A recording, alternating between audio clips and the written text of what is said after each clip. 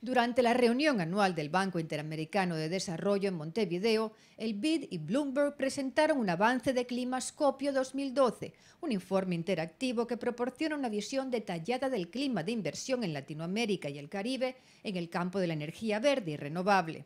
Nosotros hicimos esto para las empresas y para inversionistas, para ver cuáles son los países donde se puede invertir más en algunos tipos de tecnología, cuáles son los países donde hay que tener un poco de cambio para ser atractivos. En el avance se pueden encontrar las políticas que regulan las industrias verdes en cada país, las estructuras existentes, los niveles de capacidad de producción, financiamiento disponible y los incentivos que ofrece cada nación.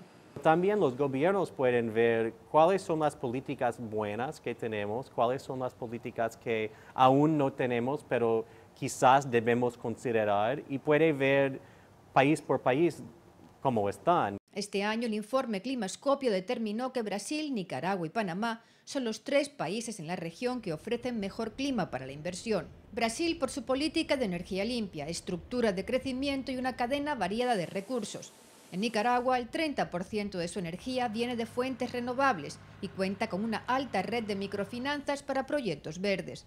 Y Panamá ya ha reducido sus emisiones y muestra altas tasas de generación de energía limpia que atrae a los inversionistas. Pero aún hay mucho camino por andar.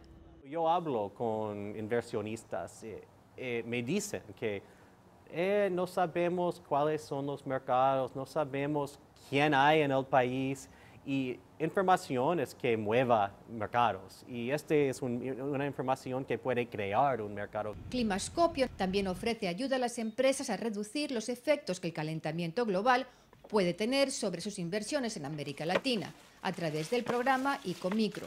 Nosotros podemos poner los modelos de cambio climático con las carteras y decir que mira, en 10 años, 15 años vas a tener un problema. El informe completo de Climascopio estará disponible a partir del mes de junio y se publicará todos los años.